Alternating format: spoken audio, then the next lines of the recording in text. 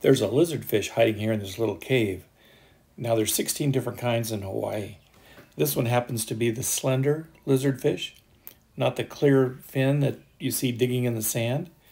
And they're very confident in their camouflage, and he'll sit there and let you get pretty close because he thinks you can't see him. And he's waiting for a fish to dart by, and they'll swallow it whole. Notice there's a little shrimp hanging up there at the top of the cave, too.